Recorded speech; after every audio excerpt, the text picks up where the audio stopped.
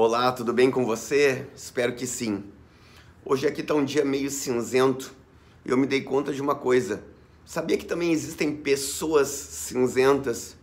Isso mesmo, são pessoas que, sem querer, sem nenhuma maldade, sem nenhuma má intenção, se tornaram pessoas que quase sempre são pessimistas.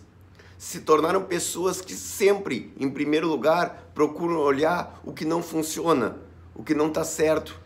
São pessoas que têm uma incrível capacidade de criticar. Na verdade, são graduados, pós-graduados e têm mestrado em como criticar e colocar as outras pessoas para baixo.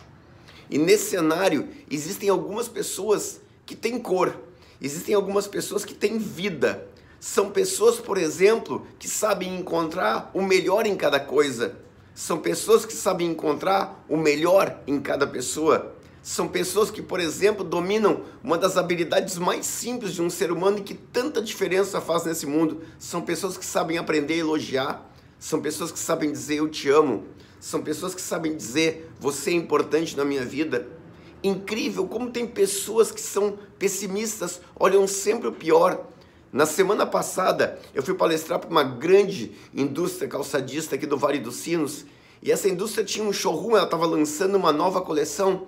E quando os representantes entraram pela primeira vez naquela sala em que tinha mais ou menos 50 a 70 pares diferentes, um deles pegou um primeiro calçado e disse: Esse eu tenho certeza absoluta que não vai vender, isso aqui não vende. Veja bem, estava lotado de coisas maravilhosas, produtos especialmente escolhidos pelos desenhistas, mas a primeira pessoa que a primeira peça que aquela pessoa pegou e que chamou a atenção dela foi a que não venderia, a que não daria certo. Qual é a reflexão que eu quero deixar para você hoje? Cuidado para não ser uma pessoa cinzenta. Cuidado para não ser uma pessoa sem luz, sem brilho.